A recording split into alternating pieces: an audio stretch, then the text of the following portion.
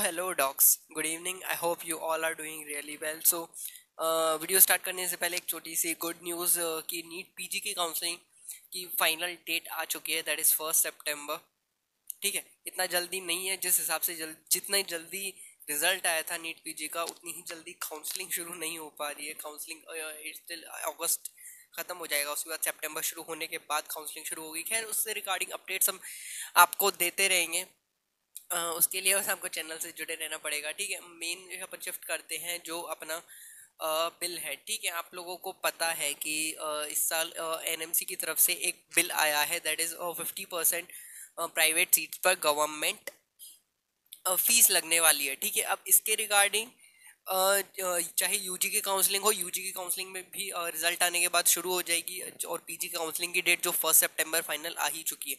UG की हो चाहे पीजी की हो ठीक है? तो इस चीज़ पर ए, ए, एक बल्क ऑफ़ स्टूडेंट्स डिपेंड करते हैं ठीक है? जो जिनके मार्क्स कट ऑफ़ के जस्ट आसपास हैं कि उनको स्कूल सॉरी कॉलेज मिलेगा या नहीं मिलेगा ठीक है?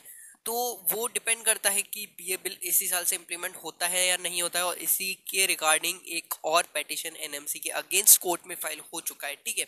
अब वो किया है प्राइवेट और डीम्ड यूनिवर्सिटीज़ ने। अब वो लोग क्या कह रहे हैं? उन लोगों का कहना बस इतना है कि अगर ये रूल अप्लाई होता है, अगर ये लॉ लागू हो जाता है कि 50 परसेंट सीट्स पर पचास परसेंट प्राइवेट सीट्स पर आप जो गवर्नमेंट गवर्नमेंट फ़ीस के अकॉर्डिंग आप एडमिशन्स करेंगे तो सबसे पहली बात तो कि काउंसलिंग भी गवर्नमेंट के अकॉर्डिंग ही होगी उसकी। तो उनका कहने का बस मतलब ये है कि जो भी पचास परसेंट सीट्स पर गवर्नमेंट फ़ीस अगर ले रहे हैं तो जो बची हुई पचास परसेंट फ़ीस है, पचास परसेंट सीट्स है, उन पर फ़ीस वो अपने अकॉर्डिंग फिर बढ़ा पाएँ। तो सिंपल सा मतलब ये है कि प्राइवेट जो भी यूजी हो, चाहे पीजी हो एमबीबीएस हो, चाहे ठीक है पीजी फर्दर स्पेशलिटी हो तो वो फिर वो चीज़ अपनी फ़ीस बढ़ाना चाहते तो वो बहुत ही ज़्यादा महँगी हो जाएगी। ठीक है, पचास परसेंट सीट स्टूडेंट्स के लिए वहाँ तो बहुत ज़्यादा बेनिफिट हो जाएगा बट जो लोग प्राइवेट पीजी या यूजी कंटिन्यू करना चाहेंगे, अपनी एमबीबीएस करना चाहेंगे पीजी करना चाहेंगे, उन लोगों का भाई साहब, क्योंकि वो चाह रहे हैं कि फिर हम साठ सत्तर लाख तक फ्री फ़ीस इंक्रीज कर दें, क्योंकि कहीं ना कहीं तो हमें कवर करना होगा भाई। प्राइवेट कॉलेज है पैसे कमाने के लिए बने हैं, ठीक है?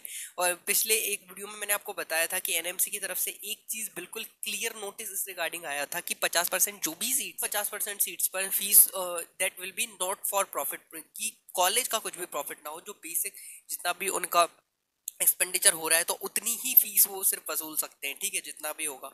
और बाकी बची हुई सीट्स पर तो अभी करेंटली कोर्ट में दो पेटिशंस अभी चल रहे हैं। पहली चीज़ तो इसके रिगार्डिंग चल रहा है कि ये लॉ अप्लाई लागू हो या ना हो तो इसके अगेंस्ट चल रहा है। और अगर लॉ लागू हो जाता है तो फिर प्राइवेट कॉलेज जो बची हुई पचास परसेंट सीट्स हैं, उन पर अपने मन मुताबिक फ़ीस वो वसूल कर पाए स्टूडेंट्स तो तो ये सब चलता रहेगा, ठीक है? आई नो आप लोगों के बहुत सारे कमेंट्स कमेंट सेक्शन में पड़े हुए हैं तो मैं डेफिनेटली उनका रिप्लाई करूँगा and sorry for not being continuous ठीक है?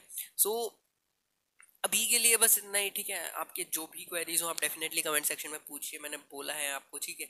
जी, मैं आपको पर्सनल काउंसलिंग में प्रोवाइड करूँगा, बस आप यहाँ चैनल सब्सक्राइब नहीं करते तो प्लीज़ प्लीज़ प्लीज़ चैनल को सब्सक्राइब कर दीजिएगा, ठीक है? अब आपसे लगातार मुलाकात होती रहेगी सो मिलते हैं नेक्स्ट वीडियो में। जो भी आपकी क्वेरी हो, जो भी डाउट हो, ठीक है? आपको अपडेट्स मैं डेफिनेटली देता रहूँगा, ठीक है? कट ऑफ़ के बारे में आई नो आप लोग, बहुत सारे लोगों की क्वेरीज हो। आई विल रिजॉल्व इट ठीक है? कमेंट सेक्शन में मैं डेफिनेटली आपका रिप्लाई करूँगा। बस चैनल सब्सक्राइब कर दीजिएगा, ठीक है? मिलते हैं नेक्स्ट वीडियो में, तब तक के लिए tada bye bye see you